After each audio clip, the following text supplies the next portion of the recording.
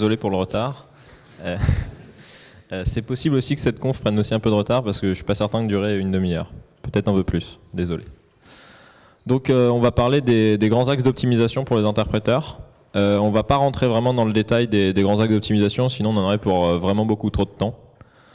Euh, de même, euh, je vais rapidement donner une, la définition un peu formelle de, ce qu'est un interpréteur. Et comme euh, moi j'ai bossé sur un interpréteur prologue, je vais prendre un certain nombre d'exemples de cet interpréteur-là.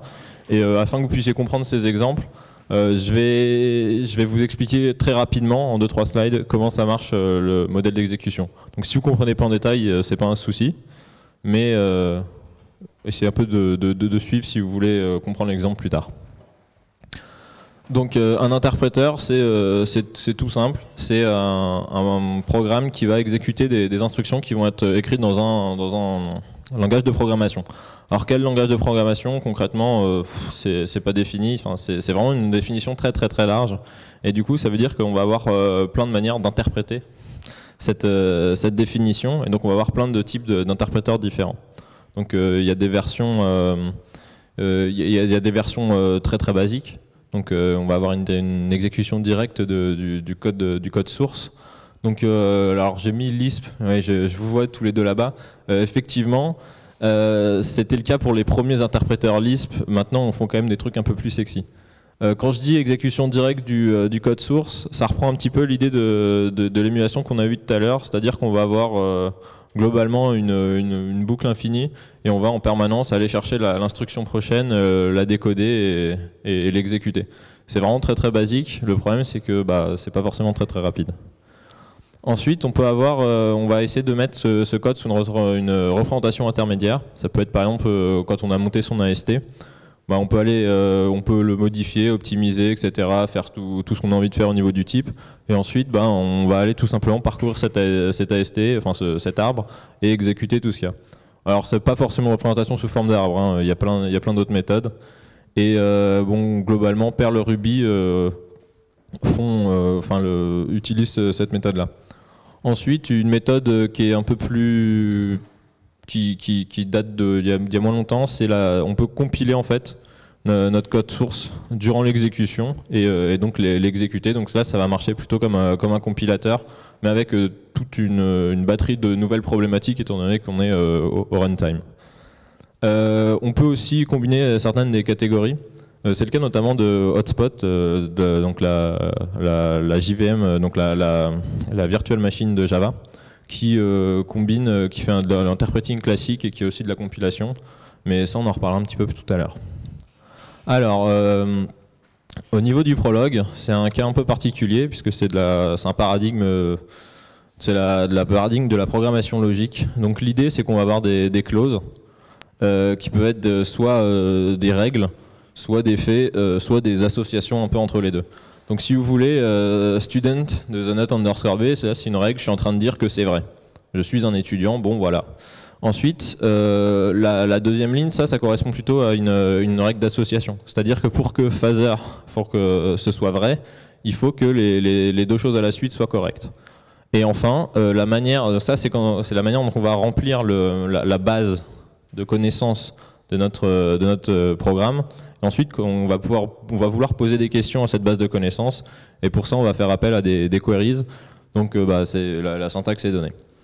Euh, une autre manière très, importante, c'est euh, de, noter que les variables peuvent être utilisées dans les, dans les requêtes afin d'obtenir des informations. Pardon.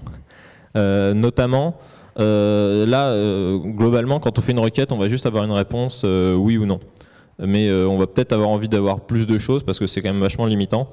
Du coup, là, si je fais la requête euh, phaser de x, il va aller regarder, dans, il, va, il va se servir de sa base de, de sa base de connaissances afin d'être capable de m'extraire pour x toutes les, toutes les valeurs pour lesquelles euh, ça va être correct. Donc en gros, je vais obtenir la liste de, de toutes les personnes qui sont définies comme étant paires.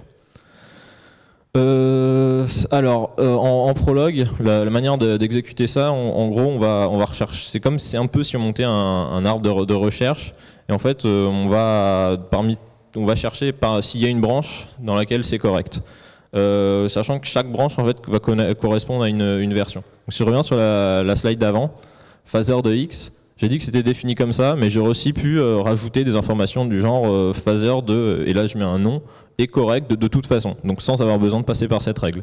Du coup, ça nous aurait fait deux branches. donc là, il y a un petit exemple d'une exécution. Donc pour demander si on est un grand-père, donc il faut être le père des deux. Donc là, on a les, exemples de, pères, donc euh, John est le père de Ben, etc. Et euh, dans, le, dans le premier des exemples, bah, ça ne va pas marcher, parce que euh, Father Ben Chris n'existe pas. Donc il, va, il va fail, et par un mécanisme de backtracking, il va revenir en arrière, il va remonter, il va aller voir la, branche suivante pour voir si ça va fonctionner. Et là, dans l'exemple, bah, bah, ça fonctionne. Donc pour, pour un peu résumer ça, un interpréteur prologue, il y a grosso modo deux parties. Donc il y a la base de connaissances dans laquelle on va mettre toutes nos associations et nos, et nos règles. Et enfin, il y a le, moteur d'inférence qui est lui qui va se servir de notre base de connaissances pour dériver les, réponses. Euh, l'algorithme est assez simple globalement. Euh, si on regarde l'arbre ici, c'est un parcours profondeur, euh, parcours profondeur classique. un autre problème aussi, c'est que pour savoir si, on a le droit d'aller sur une branche, il faut essayer d'unifier de, clauses pour voir si en fait elles peuvent correspondre à la même chose. Euh, donc quand on a des variables, c'est là où on a un problème parce que la variable va à ce moment-là prendre, la valeur. Et on verra qu'il y a des optimisations euh, intéressantes à faire là-dessus. Euh, en soi, pourquoi, pourquoi Prolog Enfin justement, pourquoi Prolog n'est pas un bon exemple et pourquoi je l'ai quand, même, quand même pris Alors c'est pas un excellent exemple parce que les optimisations vont être assez différentes euh, d'optimisations plus conventionnelles, enfin qu'on aura dans des langages de programmation plus conventionnels. Par contre, euh, ça c'est lié à son, à son mécanisme d'exécution qui est assez exotique. Euh, et en plus, il y a un certain nombre d'optimisations qu'on va juste pas pouvoir utiliser ou qui vont pas forcément être, qui vont pas valoir le coup. Par contre, les axes d'optimisation restent les mêmes. Donc je vais prendre dans la suite, je vais prendre à chaque fois un, exemple en prologue et un certain nombre d'autres exemples plus classiques voilà, et aussi c'est parce que j'ai fait un interpréteur prologue, donc euh, j'allais pas vous parler de Perl. Euh, pourquoi on a envie d'optimiser un, interpréteur? C'est simple. Euh, globalement, hein, je vais un peu spoiler la slide d'après, mais c'est la vitesse. Mais du coup, on sait qu'on est très lent en fait avec un interpréteur. Un interpréteur, je parle de la version la plus basique, donc avec la, boucle bien lente. Hein, et parce qu'en fait, on va avoir un overhead avant chaque exécution parce qu'on va devoir traduire avant chaque, euh, pour chaque statement, on va devoir traduire euh, avant d'exécuter le, statement. Du coup, on va avoir euh, envie de réduire cet overhead le, plus possible. Mais alors, si c'est lent, pourquoi on sert quand même des langages interprétés? Parce qu'en général, un langage interprété va sous-entendre qu'on on va surtout avoir des langages dynamiques. C'est pas pour autant qu'on va le faire avec des langages statiques, mais ça n'a pas forcément d'intérêt. Donc euh, ça, a un certain nombre d'avantages, notamment on peut développer plus vite. si on est sur un langage dynamique, etc., on n'a pas besoin de recompiler entièrement, donc c'est plus rapide. On a l'indépendance de la plateforme, puisqu'il euh, suffit d'avoir notre, notre interpréteur qui tourne sur une plateforme pour que normalement, à peu près tous les programmes tournent sur cette plateforme. Bon, en vrai, c'est pas le cas, mais euh, ça devrait pouvoir être, on devrait pouvoir le faire. Euh, il y a toutes les problématiques de réflexion, d'introspection. Donc si on va aller regarder euh, l'état de son, propre programme, euh, c'est plus compliqué à faire quand on est en, compilation classique, puisque ça sous-entend qu'en plus de notre programme, on va exporter une certaine, un certain environnement au runtime qui va nous permettre d'aller regarder l'état de notre programme. Et en plus, comme on est compilé, il faut être capable d'aller rechercher les informations qui ne sont pas forcément d'une manière très facile d'accès. Puis il y a des histoires de tout ce qui est euh, type dynamique, etc., où c'est quand même beaucoup plus simple quand on a un interpréteur plutôt qu'un code déjà compilé. Alors, donc, euh, globalement, là, ce petit schéma, c'est pour euh, récapituler un peu comment ça marche. Donc, quand on a une compilation, on va avoir un temps de, traduction, la, première, enfin, même pas la première fois, puisque c'est même pas l'exécution, mais on va avoir un temps de, traduction. Et en général, on, peut se permettre de faire des optimisations puisqu'on n'est pas encore en train d'exécuter, donc c'est pas tous les utilisateurs, il y a juste la personne qui va compiler qui va avoir à payer ce coût-là. Et euh, en revanche, euh, à chaque appel des fonctions, on va voir qu'on a des, c'est là où on a les meilleurs temps puisqu'on est déjà en train de, on a déjà du code machine. Euh, à côté de ça, quand on est dans un mode interprété de base, on est, bah, on a toujours le même temps pour pour parser, etc. Mais c'est à chaque à chaque runtime, enfin à chaque fois qu'on va exécuter le programme déjà, et ensuite, bah, on voit bien qu'à chaque exécution de fonction, on va payer le coût. Du coup, on va essayer d'utiliser un, paquet d'optimisation chaque, dans, notre programme, histoire que chaque appel coûte un peu moins cher. en fait, c'est super cool, mais en fait, là, on va avoir un problème puisque les optimisations pardon, sont faites durant le runtime. Du coup, l'effet, c'est qu'on va avoir un dilemme, puisqu'on a envie d'utiliser un paquet d'optimisation pour aller encore plus vite, mais euh, si on fait moins d'optimisation, on perd moins de temps à faire des optimisations. Du coup, il faut essayer de trouver l'équilibre entre ces deux aspects pour n'utiliser que des optimisations qui euh, vont vraiment nous faire gagner du temps et qui vont nous faire gagner le plus de temps. Donc là, on ne va pas chercher les optimisations qui vont nous faire gagner le plus de temps, mais celles qui ont le meilleur rapport euh, temps, temps gagné utilisé par, l'optimisation et tant gagné grâce à cette optimisation. Euh, en plus, euh, ce problème-là, euh, c'est pas un problème trivial puisque pour euh, avoir l'équilibre parfait, et c'est même pas forcément suffisant, il faut avoir l'input à chaque fois qu'on va avoir, ce qui est soit complètement débile, soit c'est impossible à obtenir. Du coup, l'idée ça va tout simplement être d'utiliser un certain nombre d'heuristiques pour s'approcher le plus possible bah, du meilleur cas le, le, la plus classique, ça reste de, chercher des hotspots. Donc ça va être des, points chauds dans notre programme. Donc euh, notamment les, boucles qui vont être exécutées le, plus de fois. Et euh, en fait, on, parce qu'on sait très bien que dans un programme, la plupart du temps est passé euh, dans, des petits morceaux de fonctions, dans des petits blocs qui sont justement ces hotspots. Donc c'est vraiment là qu'on va mettre toutes nos optimisations le plus possible alors qu'ailleurs, euh, on va potentiellement même ne rien faire. Euh, donc la première, des grands axes d'optimisation, c'est l'optimisation statique. Donc euh, l'optimisation statique, ça fait référence à tout ce qu'il peut faire sans aucune information du runtime. c'est ce qui est utilisé par tous les compilateurs, enfin tous les compilateurs qui ont des optimisations évidemment. Et en fait, la, théorie derrière ça, il y, bah, y, a beaucoup de théories qui ont été recherchées, donc on sait très bien ce qu'on fait. Ça, couvre un paquet de, domaines. Euh, ça fait vraiment énormément de choses. Notamment, on peut euh, réduire la, redondance du code, euh, réduire la, enfin, strength reduction, ça correspond à réduire, essayer d'éviter de faire des opérations coûteuses en la remplaçant par une opération équivalente mais moins coûteuse. Par exemple, remplacer une division par un certain nombre, par une multiplication par un autre nombre très grand. Mais comme on sait qu'on va overflow, on va revenir sur la même valeur. Certains compilos sont capables de faire ça et effectivement ça permet de gagner du temps. Euh, du coup, quels sont les avantages? Bah. Certaines, optimisations permettent de gagner beaucoup de temps, mais le problème c'est que comme on est souvent dans les langages dynamiques, il y a pas mal d'optimisations qu'on ne va pas pouvoir se permettre. Euh, par exemple, si je prends euh, Java, si j'essaye d'inliner du code, chose qu'on peut faire dans la plupart des compilateurs de nos jours, euh, ça va souvent pas être possible puisqu'on a la possibilité de loader du code euh, durant le runtime. Et du coup, euh, une fonction qu'on pensait qu'elle allait être tout seul va peut-être devoir être remplacée par une autre. Du coup, il faut être capable de, retirer cet inlining. Du coup, on, donc on va pas le faire en statique, on va plutôt le faire au runtime quand on a suffisamment d'informations. Et en plus, oui, quand on a des informations runtime, on va aussi être capable d'optimiser encore plus, vu qu'on va vraiment savoir dans quel cas on est, notamment des problèmes de type dynamique et de cas particuliers. Euh, dans donc, les exemples d'utilisation en, en, prologue, je vous ai parlé tout à l'heure des, variables euh, des unifications.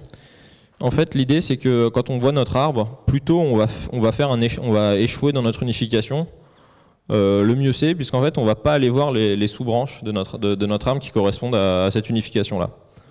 en plus, y a on peut réordonner un certain nombre de clauses tout en ne changeant absolument pas le, le résultat du programme. Du coup, on va essayer de réordonner ces clauses, histoire de mettre le plus de variables, enfin le, variable d'assigner le plus de variables le plus vite possible, histoire de faire fail le plus rapidement possible notre, nos unifications. Donc là, c'est sur un exemple tout tout bête. Euh, ouais, je, sais que ça correspond pas à grand chose le, le, graphe puisque j'ai pas donné tout le code en entier. Mais globalement, là, c'était juste, ça s'arrêtait tout de suite le, code. C'est juste que grâce à la première fonction, en fait, on va même pas aller voir le reste, on va échouer tout de suite puisque c'est vraiment elle euh, qui coûte le plus cher. Euh, donc là, c'est l'explication que j'ai donnée. Donc c'est euh, là, on a le cas où c'est l'unification avec D qui va, qui va échouer. Donc si je vois que je vois bien que si je la fais remonter, c'est toute toutes ces sous-branches qui vont qui vont plus être exécutées, qui vont plus être testées, et du coup on, gagne on gagne pas mal de temps. Alors bien sûr, c'est pas dans tous les cas. Il y a un certain nombre de cas où on va pas gagner de temps. Et dans, certains autres cas, on peut même perdre du temps, mais globalement, ça reste assez positif. dans les compilateurs, on a d'autres types d'optimisation, notamment sur les, boucles. Donc on peut avoir de, l'unrolling, c'est-à-dire qu'on va mettre plusieurs fois le code de la boucle, il faudra de l'exécuter moins de fois. Euh, on peut avoir euh, looping variant comme motion, ça correspond à se rendre compte qu'il y a une partie, il y a du code dans la boucle qui va être exécuté à chaque fois, mais qui globalement va toujours renvoyer le même résultat. Du coup, on va le sortir de la boucle histoire de, bah, de, passer moins de temps dedans. Euh, data flow optimization, ça correspond à ça correspond à tout ce qui est l'optimisation des, des, flux de données. Donc constant folding, c'est ce dont parlait tout à l'heure Delroth. Donc euh, parfois on va avoir des, constantes dans notre code, donc on va essayer de, les faire aller le plus loin possible. Par exemple, si je vais euh, une valeur euh, int i égale 3 et derrière je fais int j égale i fois 3, je ne vais pas laisser i fois 3, je vais mettre directement 9. Donc à la compilation, notre compilateur va être capable de faire un paquet de, calculs.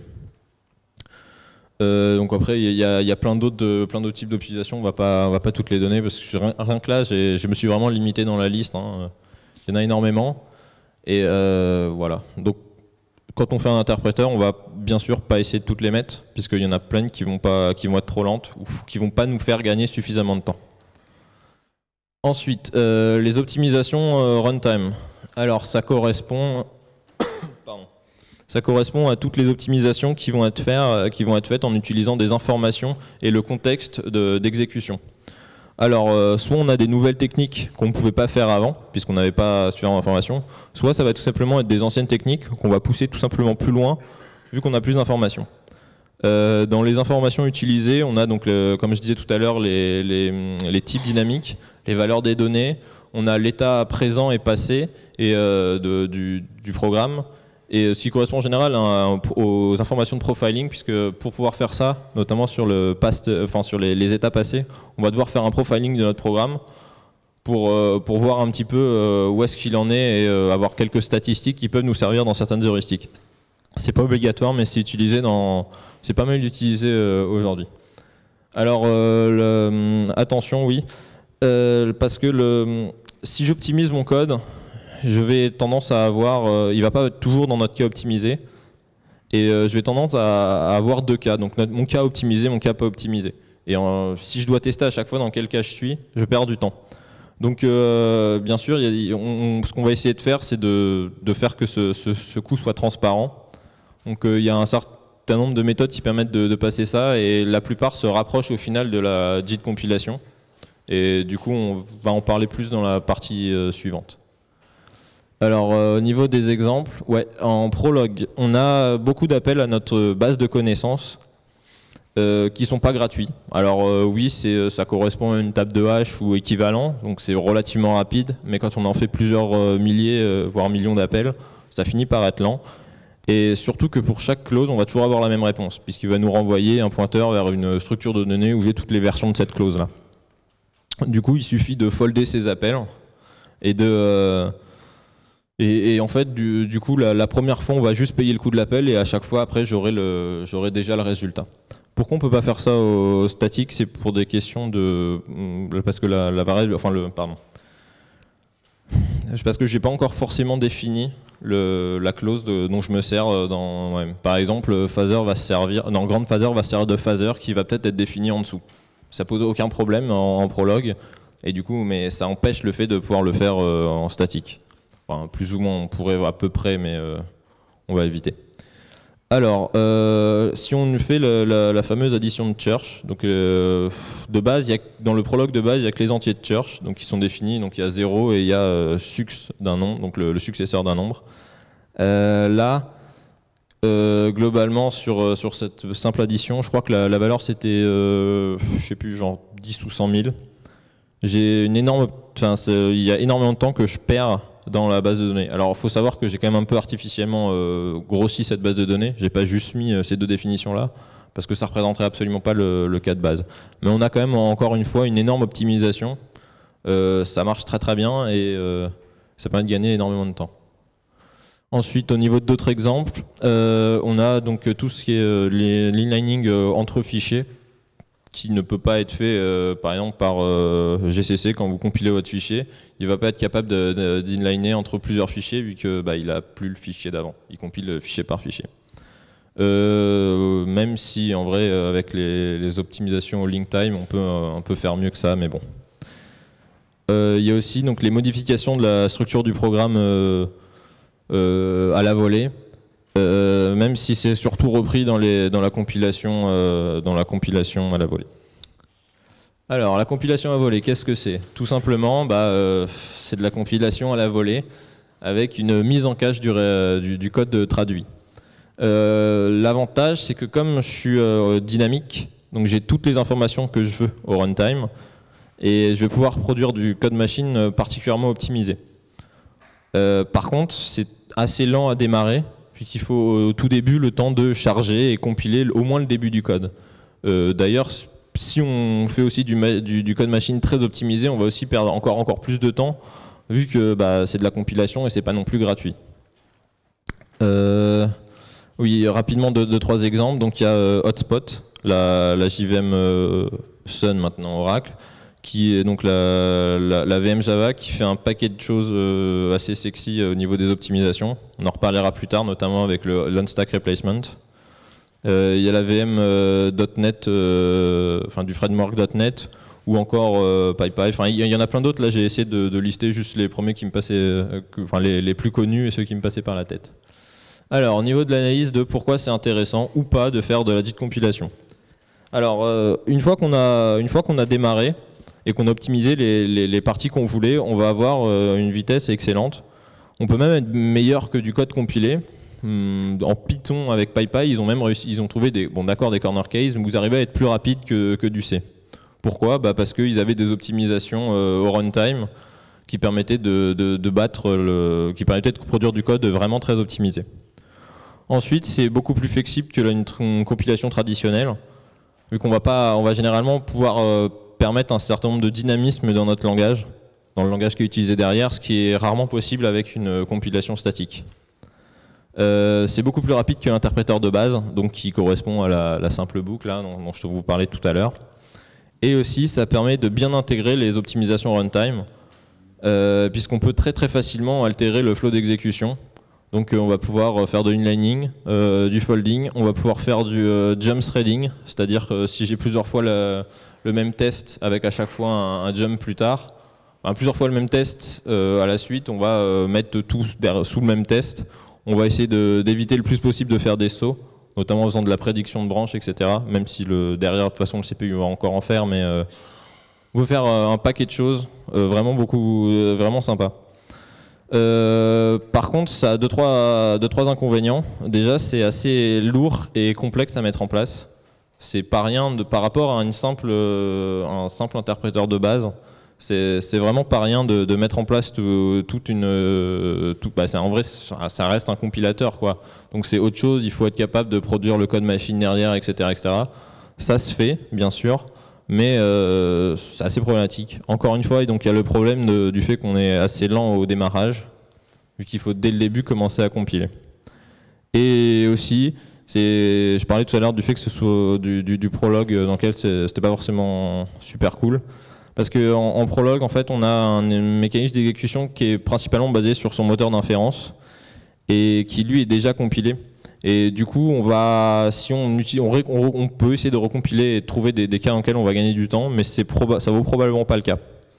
Donc euh, moi, je vais peut-être continuer à bosser là-dessus et essayer de voir si ça peut pas valoir le cas vraiment mais euh, ça risque d'être quand même assez difficile. Et c'est pas le, cas que pour le prologue, il y a d'autres langages. Euh, heureusement, il y a des solutions. Donc euh, si on veut aller plus rapidement, ne pas avoir à s'embêter à vraiment implémenter de la JIT compilation, on peut utiliser un certain nombre de frameworks qui permettent de nous aider. J'ai mis l'exemple de LVM, c'est pas exactement un framework, mais c'est pas grave. Euh, Dalrot en parlait tout à l'heure pour bah, de, ce qui, voulait justement l'utiliser dans Dolphin, effectivement, euh, LLVM permet notamment de faire assez facilement toute une batterie d'optimisation. Donc ça, évite d'avoir à refaire tout, ce genre de choses à la main à chaque fois. Euh, ensuite, donc, euh, je parlais du fait qu'au tout début, je disais que la, JVM faisait plusieurs choses, pas que de la, pas que de, la compilation à la volée. En fait, C'est pas du tout, c'est pas le seul cas, mais un, cas classique, c'est au début, comme on va être lent, pour éviter d'avoir à attendre à rien faire, on va commencer à interpréter le code.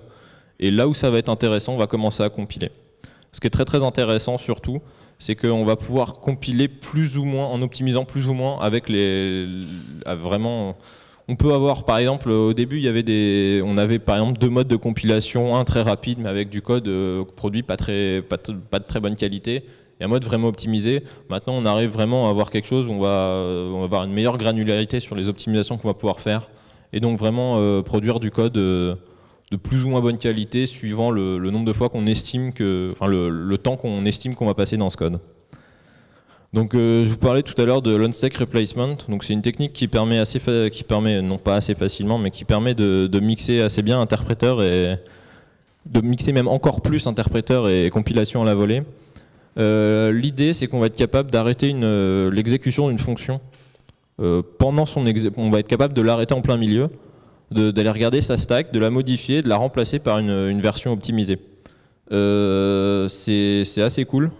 Euh, c'est un truc qui par exemple est le cas aussi toujours dans Hotspot.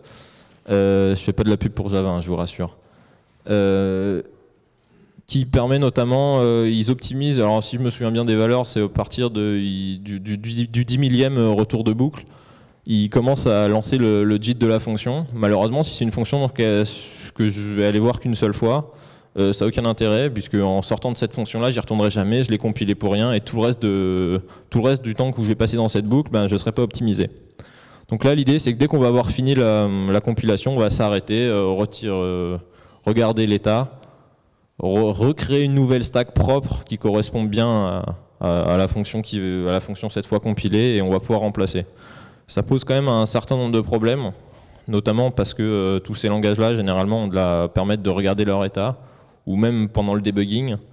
Et euh, donc, euh, c'est assez problématique. Si je veux m'arrêter un endroit, si je veux m'arrêter un endroit et que je vais arriver sur du code compilé, alors que je voulais regarder mon état, mais dans le code compilé, on n'a pas vraiment accès à toutes ces informations-là.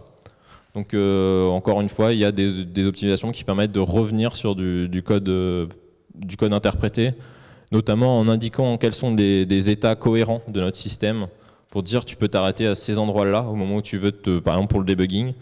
Et euh, sur cet endroit-là, je vais être capable de revenir en arrière, désoptimiser, revenir sur mon code interprété. Là, tu vas pouvoir faire tous les buggings que tu veux. Et comme tu me demandes de me relancer, bam, euh, je refais le processus inverse, je réoptimise et on est parti. Ça permet notamment de faire du debugging euh, en full speed, notamment dans... je crois que CLR le fait aussi, mais Hotspot le fait. donc, en conclusion un petit peu de, euh, de ce qu'on a à ce niveau-là, c'est que euh, c'est très facile de mettre en place un interpréteur euh, basique. C'est très facile et rapide à développer. Par contre, c'est très très lent et du coup, c'est très bien si vous voulez jouer sur un petit truc dans un coin. Mais dès qu'on veut faire un truc un peu efficace, ça c'est vraiment, c'est vraiment assez pourri.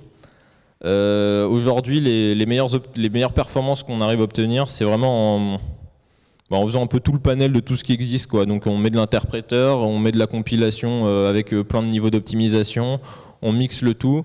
Par contre, le problème, c'est que ça fait des projets beaucoup, beaucoup plus compliqués. Et du coup, il n'y a que vraiment des langages vraiment, vraiment utilisés et euh, qui ont une grosse communauté derrière ou des grosses, des grosses entreprises derrière qui arrivent, enfin, qui peuvent se permettre de, qui peuvent se payer un peu le développement de, de, ce genre de, projet. Euh, aussi, il y a énormément de recherches actuellement sur les différentes, euh, les différentes manières d'optimiser encore, encore plus la, la dite compilation, notamment avec des problèmes d'inlining, avec tous les différents types de, de fonctions qu'on peut avoir, etc. Voilà. Est-ce que vous avez des questions Euh, de ce que je sais, euh, ils espèrent que ça marche bien. Je ne sais pas exactement à quel point ça marche bien. Euh, moi, les articles que j'avais lus à ce sujet-là étaient justement pas sur Java, mais sur, sur. C'est quelqu'un qui expliquait dans un long article tous les cas différents dans lesquels on pouvait ou pas inliner. Et il y avait une vraie batterie d'au moins une quinzaine de, de, cas particuliers dans lesquels on ne pouvait, ils essayaient même pas d'inliner. De, Donc, ouais, effectivement, l'inlining c'est super cool. Euh, notamment parce que ça évite de payer le, coût de l'appel, mais euh, pour une autre raison, c'est que euh, ça permet de produire des, morceaux de code plus gros. Et sur ces morceaux de code plus gros, on va avoir plus de, c'est plus facile d'optimiser en utilisant les techniques classiques d'optimisation de, des compilos. par rapport à des tout petites fonctions, typiquement un getter et un setter où il va y avoir trois lignes, c'est, on peut rien optimiser dessus, c'est pas très intéressant. Si on l'incorpore dans tout le reste, on va pouvoir faire, commencer à faire des trucs sympas.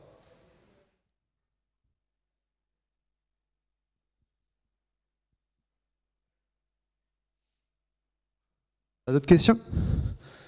En fait, moi j'en ai une. Maintenant que j'y pense.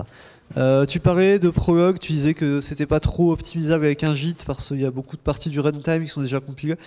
Mais est-ce qu'il y a eu des recherches qui ont été faites sur en gros euh, optimiser justement ces fonctions qui sont déjà compilées en utilisant les informations que tu as obtenues au runtime? En fait, genre tu au runtime, je veux dire, tu obtiens des informations que tu n'as pas à la compilation sur quelles clauses ont été plus utilisées, etc.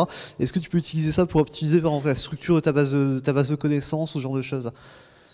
Euh, ouais, tu peux probablement faire ça. C'est justement sur ces points-là où c'est intéressant, et c'est justement sur ces points-là que je suis en train de que je suis en train de regarder pour, pour mon projet.